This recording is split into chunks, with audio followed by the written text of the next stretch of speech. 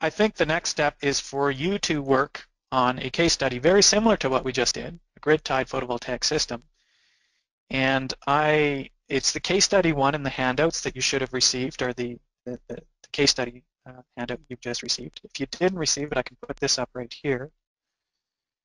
So, and we're going to go through this part by part. So you'll note that that case study is broken up part by part by part. So you don't need to read through the whole thing to begin with. Just read to part one because I'm going to give you about, I don't know, five minutes to do part one, and then I'm going to demonstrate how I would do part one.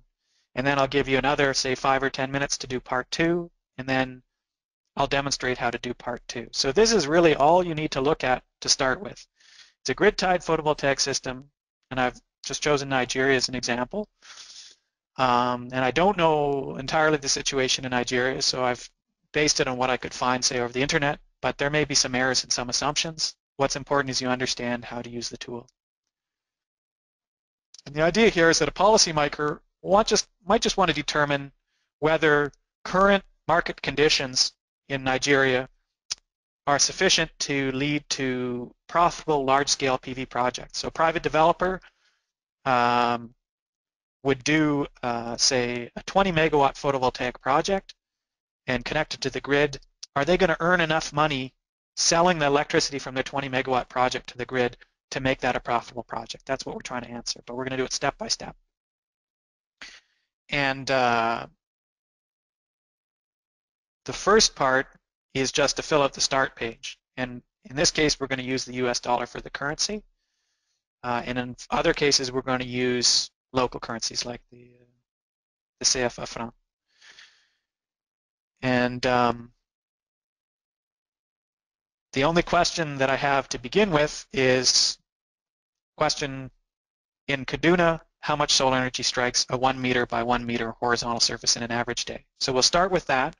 I'll give you about five minutes to work through that. So uh, get Screen open on your computer uh, and then fill out the start page based on the information on this slide or you can read it off the um, paper or the, uh, the file that I sent out yesterday.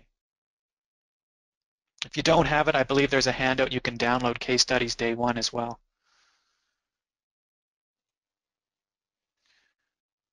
So I think you should uh, be seeing my screen again, uh, or at least seeing the RETScreen here. And where did my questions go? Oh, there they are.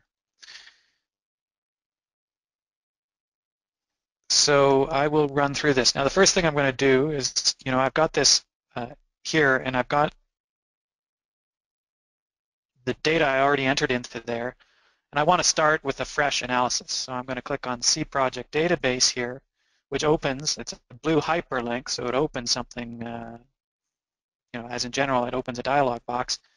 And this is the place where I can save or um, load different templates and case studies, see? Uh, but it also has over here on the right a new button which erases uh, everything I've got in there. So I'm going to click no to not save these changes. Um, and what RETScreen will do is completely clear out the start page.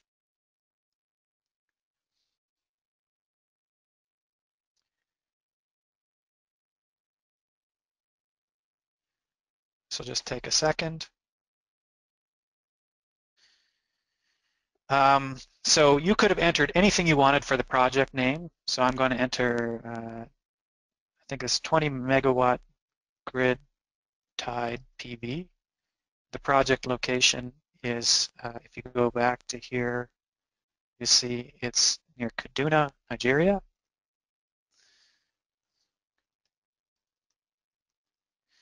And it's prepared for uh, ECREEE class, and it's prepared by Michael Ross. You can enter whatever you want in those four things. I'm just showing you how I would do it so you can follow along and uh, see whether your answers made, you know, were similar to mine. One thing you had to do though was to pick Power Project here because this is a photo